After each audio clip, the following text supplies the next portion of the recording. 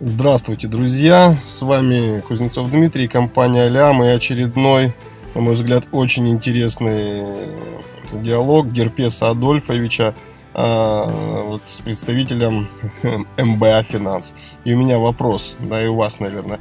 С чего это они вдруг взяли вот моду, а, звоня из коллекторского агентства, пугать, что какое-то другое коллекторское агентство выкупит?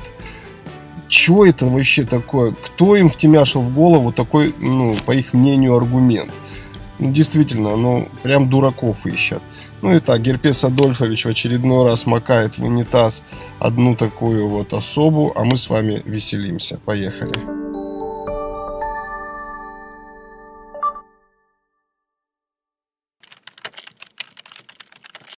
У нас есть для вас важная информация. Пожалуйста, оставайтесь на линии.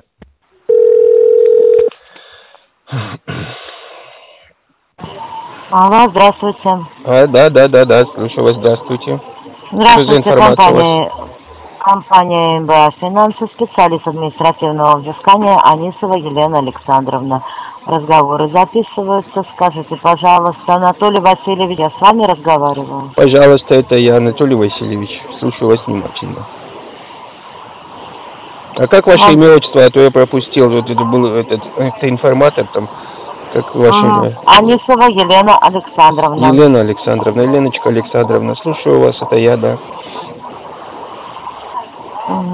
Вам звоним по поводу вашей просроченной задолженности в компании «Саммит». У вас 243 дня просрочки, у вас сумма к оплате на сегодняшний день 62 548 рублей. Ой, откуда она такая взялась-то? Ну, вы должны были еще в апреле месяце свой займ погасить, у вас про- просрочка 243 дня. Вы А какие там проценты-то насчитывают штрафы? Мы договаривались, что мне дадут э, э, до Нового года время. Ну, у вас тут, я смотрю, процентная ставка 2,1. В день, что ли? 2 процента. Ну, вы же подписывали договор. И тем более вы подписывали его на 30, на 30 дней, брали вы 20 тысяч. Только по закону микрофинансовой деятельности не больше, чем в 4 раза может увеличен быть. Ну, во-первых, три, во-вторых, у вас э, штрафы начисленные. Но так он увеличился А, больше, чем они- в 3. А я даже Ну, дал же в. 4. Готов был в 4, а вы Нет. все 3. Три, вы брали 20 тысяч. Ага. Ну, так вы туда прибавьте неустойки, пени и штрафы. А, ну нельзя больше, чем У вас 60. А я же еще оплачивал. Ну, послушайте, что, что касается начисления, начисления процентов, мы их не начисляем.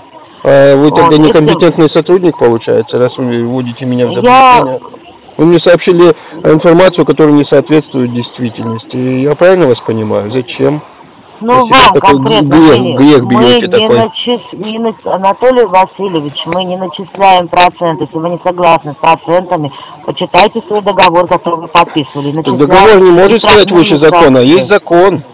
Что мне читать, если я слышу только в цифрах уже сразу? Раз, нельзя так начислять. А вы Ну, начисляете. я вам могу, я вот от, я, я открыла у вас список счетов. У вас просроченный основной долг 20 тысяч, просроченные проценты у вас 40 тысяч. Брал я сколько денег?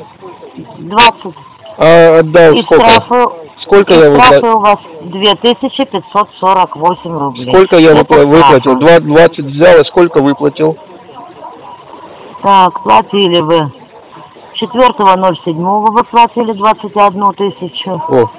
И, и 21.04 вы платили 5. Слышали, да? 20 взял, 27 отдал. Ну, я ж понимаю, но сумму-то вам не я придумываю, А вы Анатолий меня хотите? Ну вы, Васильевич. вы понимаете, что вот вы э, нормальный человек, я так подозреваю, соображаете, что говорите и пытаетесь человека, ну, пускай не от своего имени, а от имени каких-то проходимцев развести. Ну как это так? Кто мне с меня ему 27 отдал, 20 взял, еще 60 должен? Ой, вы меня насмешили. Анатолий Васильевич, ну обратитесь в компанию с тем, Да никуда я не буду обращаться, надо, Пускай пускай обращаются. А вообще так я им сказал, а, на три буквы, и мы с ними договорились. А до Нового года, если они не окажутся вот в этом месте на три буквы, э, которая посередине У, в суд, в суде, э, тогда я вообще буду сочту просто ситуацию э, совершенно решенной. Она и так для меня решенная, вы слышите, да? Как они, вы сами подумайте, как они, с чем они пойдут к судье? А? Анатолий Васильевич, что дело в том, что ваше дело находится уже на административном производстве. Не обязательно это будет суд. Вас могут просто перепродать. И что это, ну кому они, ну перепродают. Ну а вы, вот на каком основании это, сейчас со мной манипулируете? на основании агентского, агентского а, договора. А когда продадут долг, человек, который покупает долг или организация, она имеет лицензию на пытки? Это у вас другой кредитор у вас будет смена кредитора. А какая разница? прав требования. Вы знаете, что это еще в законе нужно, правопреемствование нужно еще доказать? Еще в суде. 382 статья.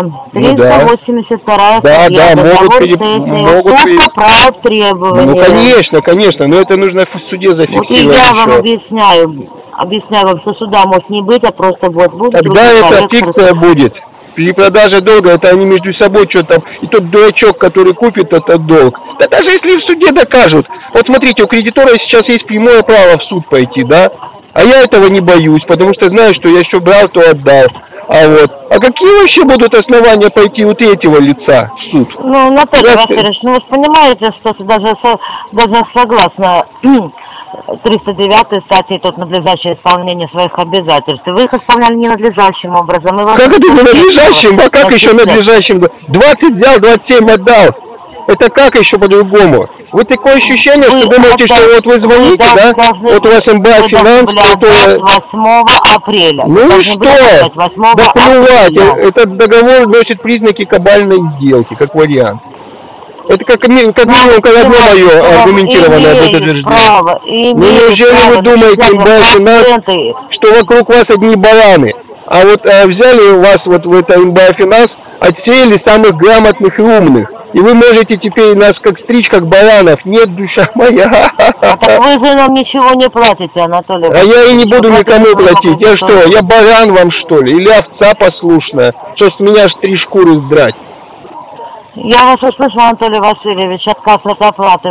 Я вам зафиксировала информацию, отправляю вашему кредитору. Отправляйте. Не забывайте также, Голубиной не забывайте также о том, не забывайте также о том, что в ближайшее время вы не сможете больше воспользоваться ни одной кредитной организацией. Ну, банк, и, слава или, или ипотека, или родственникам вашим понадобится ипотека. Я ипотеку позавчера взял. Позавчера взял ипотеку. А жена моя вчера взяла автокредит вчера буквально Анатолий Васильевич, автокредит получила. Да, Чего? также о том, что если будет Я помню одно, что я не баран, и вам желаю того же.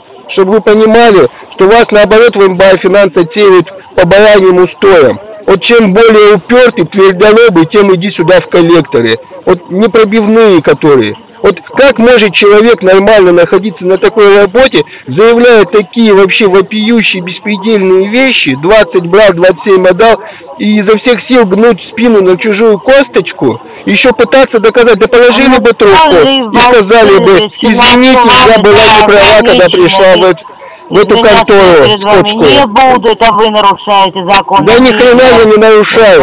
А на закон а нарушаете вы, в частности, 330 федеральный закон. Всего доброго, до свидания. Э, подумайте. Друзья, ну что поделаешь, звук такой, да, я понимаю, немногим это нравится. Ну, я тоже не могу э, сказать им, чтобы они кастрюли с башки снимали. Ну вот они наверняка, когда разговаривают, все на башку либо кастрюлю, либо тазик сверху вешают. Тут такой звук. Это у коллекторов, у банковских служащих э, как-то попроще все. Кстати, это один из способов определить, коллектор вам звонит или из банка. Но вот здесь вот, да, у нас так все очевидно. А до какой степени упертый. Вот она просто... Понятно, что у нее нет возможности пропустить вот эту э, полемики, вот этот разговор, э, ну просто элементарно услышали, ну это ж куда? 60 а, должен, это при том при всем, что 20 взял, 27 отдал, вы недолжным образом выполняли, как, что несет, какие статьи, это же до какой степени им остатки мозга там промывают, что они свято верят в эту ахинею, которую вот э, таким вот образом выдают а благодаря вот этому каналу еще и на все, во все услышания. Да? Друзья, ну, здесь, как говорится, не дать не взять.